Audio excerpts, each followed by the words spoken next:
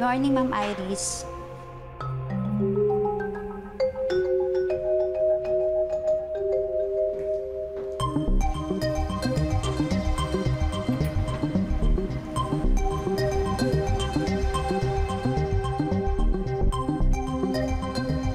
Oh, you're home.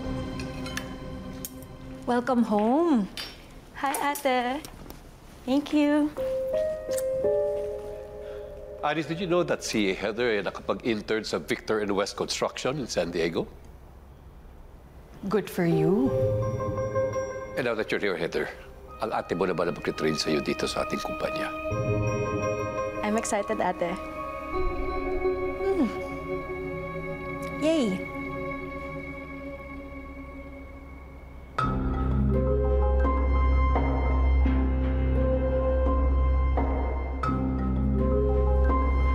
Ah,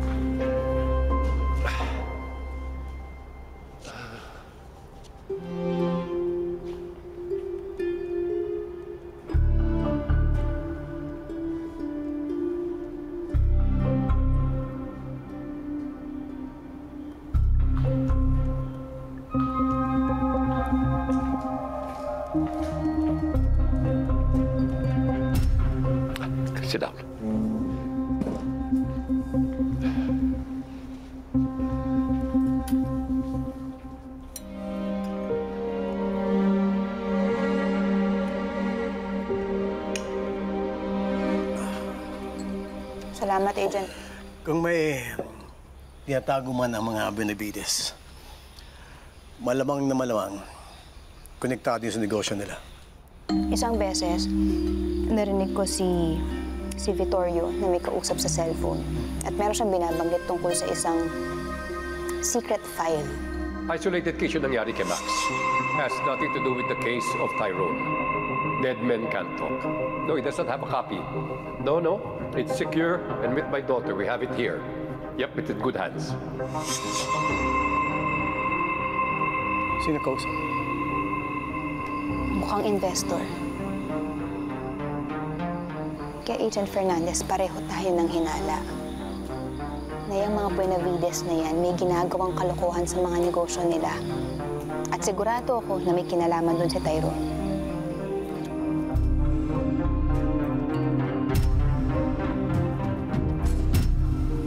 Everything okay? Yes, Dad. Look what I brought.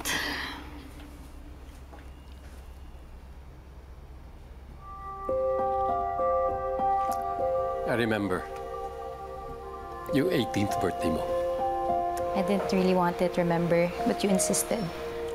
Eh, ganyan ka naman talaga eh. You never really liked the mga lavish things.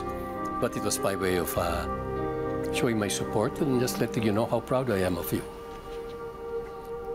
Biruin mo, 18 years old. Second year in university, that's huge. My daughter, a savant.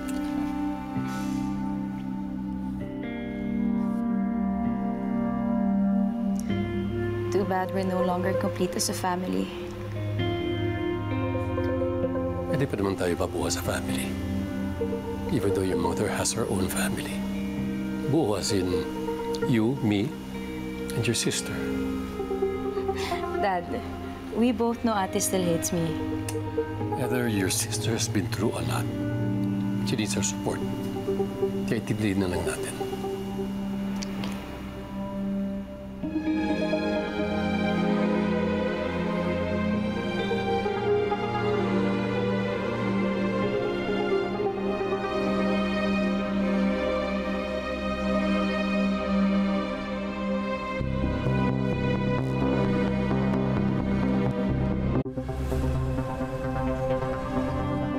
Ano yung sinasabi mong hindi mo alam kung nasan si Agent Fernandez? Ah, sir. Kahit naman po magtanong ako, wala naman sasabihin sa akin yun. Kilala niyo na yan, si Sir Sandro. May sariling diskarte yan. Especially regarding the drug case. Sandro taught you well. Natulungan din niya magsinungaling. Alam mo, hindi mo naiintindihan kasi Agent Pascual. Resources ng LA ang ginagamit ni Agent Fernandez to pursue a case that's not assigned to him.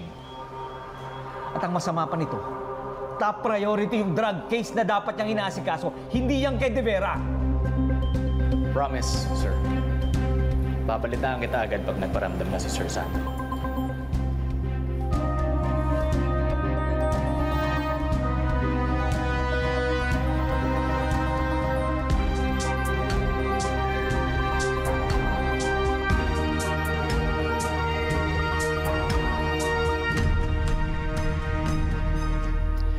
Nakapasok ka na sa mundo ni Iris Benavides.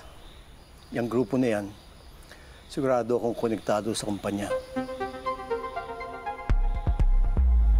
Ang kailangan natin isipin ngayon kung paano ka makakapasok sa negosyo nila para masilip natin kung ano yung mga maling ginagawa nila.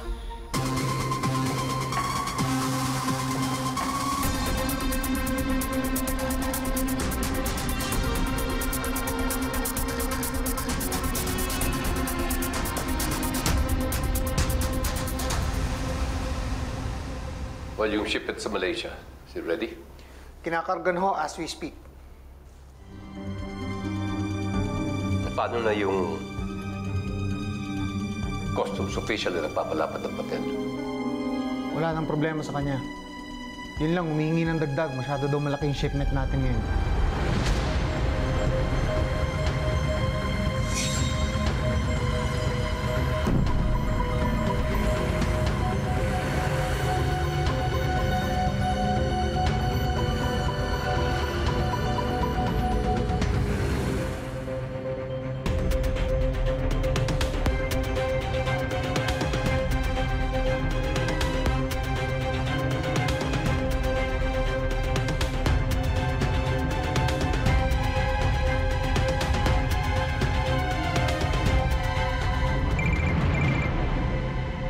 Mr. Raha.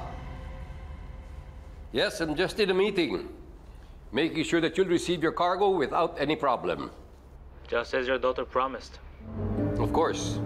You can always count on us. Can we now count on you to make the transfer? Mm, okay. Wiring $2 million to your account, Mr. Bonavides. Tarimakase, Mr. Raha. Looking forward to doing business again.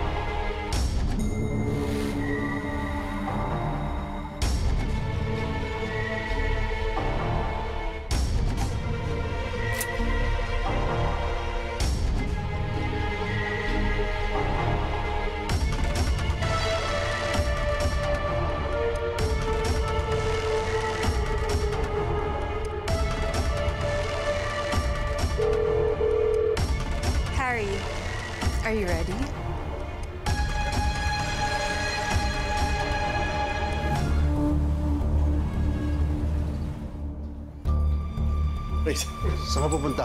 Oy, ano? Oh, sige, sige, bago sa tayo. Dali lang. Pasok! Relax lang kayo, sir. Sir! Usapan naman po lahat eh. Sir, relax lang kayo. Oo, oo, oo, oo. Ano ba yun? Oh, Sandali lang, sandali lang. Bakit? Sir, ano? Mag-usap tayo, sir! Gahanap na si Sir Oscar.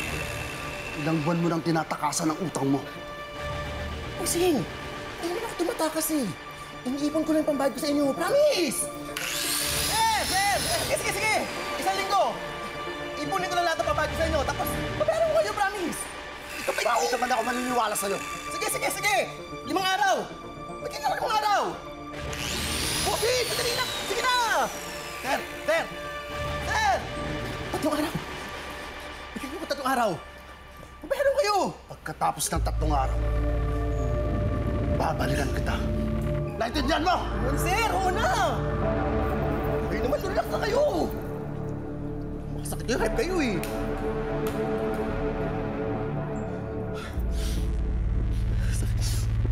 Tatlong araw! You look like you've seen a ghost. What? No. I've seen an angel.